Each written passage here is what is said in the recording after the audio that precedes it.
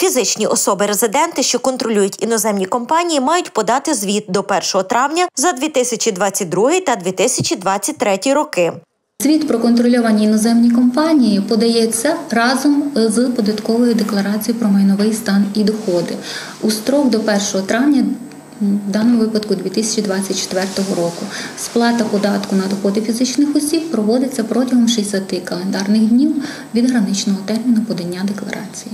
Звіти подаються виключно у електронному варіанті. Відповідні форми доступні у кабінеті платника податків. Якщо ем, фінансовий рік іноземної компанії не збігається з фінансовим роком в Україні, значить за 22 рік подається загальний звіт, а за 23 рік передбачено подання скороченого звіту.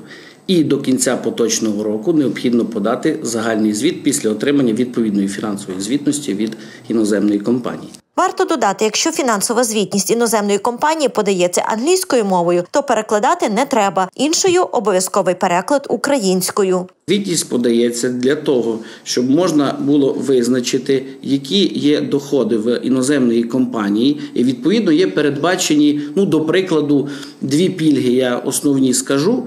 Значить, якщо контрольована іноземна компанія має прибуток менш ніж 2 мільйони євро.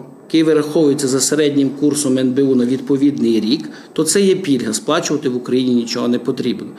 Передбачені інші пільги Іван Копча пояснює на прикладі.